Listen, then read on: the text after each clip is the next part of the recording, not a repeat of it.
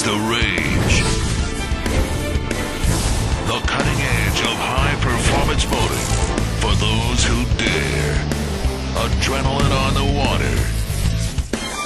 Hold on. It's a ride on the wild side. No wimps allowed.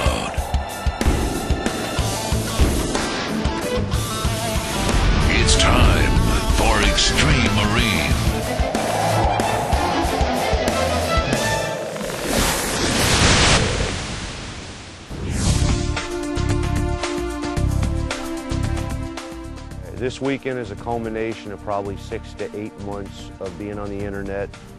People from all over the country coming. They're expecting somewhere in the, in the vicinity of around 100 boats. That's not going to be running, but that's just boats to come out and watch, people to spectate, see what's up. And you got about five boats that are going to be in the money. It means a lot. It means bragging rights for who's the fastest, who's the baddest, and who can actually say they run 135 or 140. This is bragging rights, you know. Just a few people pursue their passion this deep in a hobby. And if you take these boats and go back to where they boat, they're the fastest thing on the lake. They're the talk of the town. Everybody points at this is the guy who's got the fastest boat we've ever heard of. Some of these guys are probably going to itch close to in the 150 mile an hour mark today if the weather cooperates and their equipment cooperates. From what I've seen, I think there may be some boats faster than some of these drivers feel like driving them. We've run this boat 135 several times. Um, I haven't driven the boat in a while. It's been sitting up. As cool as it is this morning, we ought to make some good horsepower. It ought to run at least that, plus some. The excitement that's generated by running that fast, first of all, it's dangerous as hell. If this boat got away from me at that kind of speed, the boat's going to go to pieces and it could cause serious injury, even death. I'll be disappointed if I can't run in the mid 130s with this boat right here. Showdown's to be today. We're to find out where the rubber meets the road, who's got the fastest boat and who's got the biggest mouth. Armed with high-performance river rockets, these weekend warriors have traveled from across the country to Central Florida's Suwannee River to compete in what they call the high-speed shootout. The prize? Bragging rights. And to these guys, that's better than any trophy. They told us yesterday there's no speed limit, so as long as nobody's doing anything reckless, I, I think we'll be okay. I think they want to watch.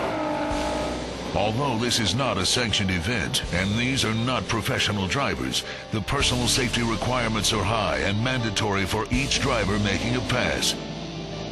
Hank Hogan of Milledgeville, Georgia has decided that he's not only up to the task, but is anxious to be the first to run. The first pass I made upriver was a kind of a get adjusted pass. And I went approximately 136, they said, but I knew my boat had more, but I wasn't used to the environment yet.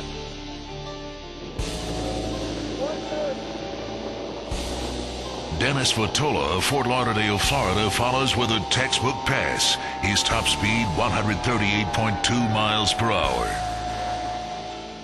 Second pass, I had to lay down a bigger number than what I had because I wasn't out front at the time. So I knew I was going to let the high go with the hair. I was going to turn that boat loose if the hair lift hell. So I nailed it, and the boat got squirrely as hell. In fact, it got up off the water briefly and settled back down during that pass.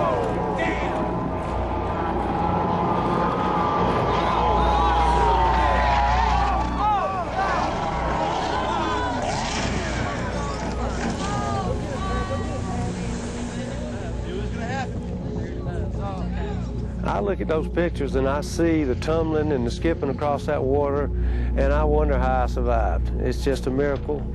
Uh, the good Lord was looking after me that day because you generally don't survive a crash going that fast, but I don't know how in the world I survived. He's lucky. Came up, puff of wind caught it, blew it over backwards. He's probably running 130 when it happened. And no broken bones and no internal injuries. That's, that's all you can ask for.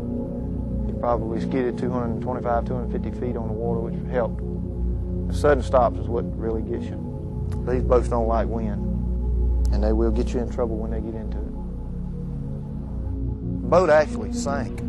They uh, retrieved it, hooked the rope to the front of the boat, pulled it back to the top of the water, and got some of the water out of it, and headed back to shore with it.